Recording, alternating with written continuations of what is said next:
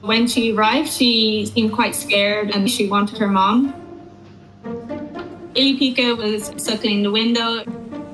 It's a part of their natural behavior. They'll suckle on their moms to get the milk. It was a sign that she missed her mother and she was looking for her.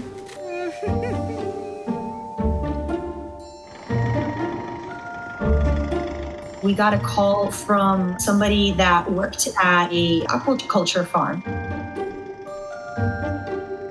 Ili Pika was stuck on top of an oyster trestle bed.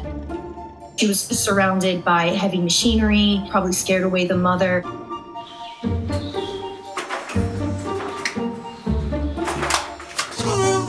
We gave her a wetsuit mom, which basically is recycled wetsuit all kind of packed together, kind of resembles a mother seal.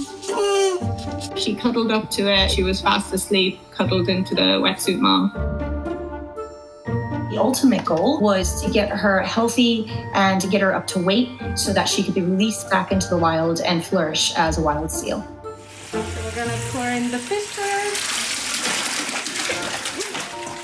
We started fish school. Ili Pika surprised us all and was one of the first common seals to start eating, despite being the smallest.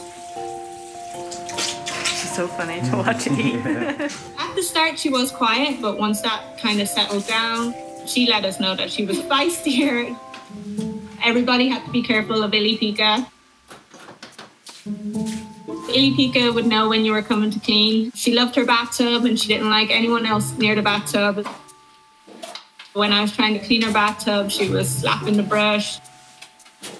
And then she would bark. The flippers were going everywhere. She would spit at you, she would slap her belly to tell you to go away. That's what we want to see in our seals. It just shows that they're becoming more wild, and so they're stay away from me. But that meant that she really had that fighting spirit. Seeing that shows us that she's going to compete well in the wild, and we felt confident in putting her in the pool with the other seals.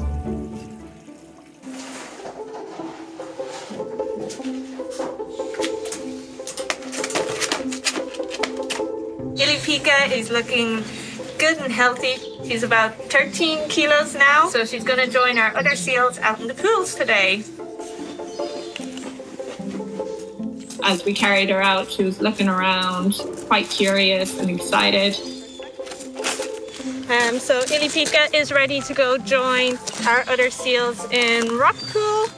That's the first time that they actually come in contact with other seals in care. So that's really special because since they are social animals, it's like a little kid's first day at school. She scooted out and into the water.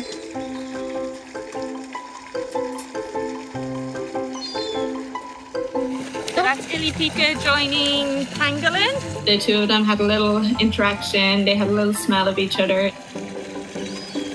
And then they both had a swim around, getting used to their pool and how much space the both of them would have. oh, there's another friend. The pools are the last stage of rehab. This is where they're going to learn social cues from each other. They're going to build up their muscles. They're going to learn to compete against other seals.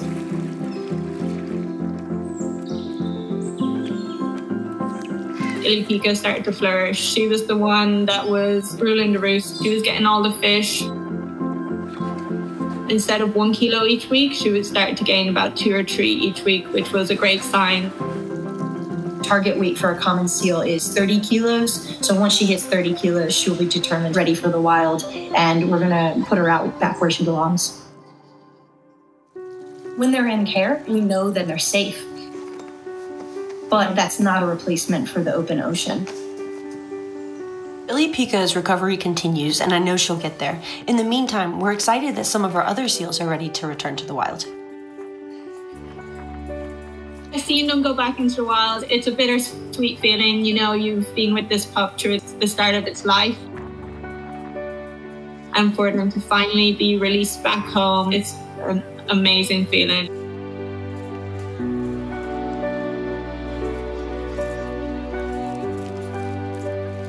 They embrace their nature once they're released. You can see their instincts kick in.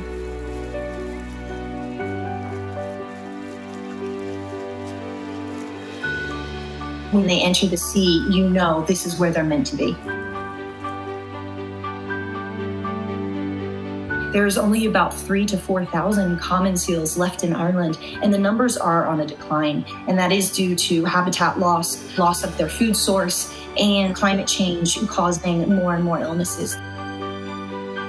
The biggest thing that we can all do is protect their habitat, to do our part to fight climate change, and to promote a future that seals won't need to be rescued.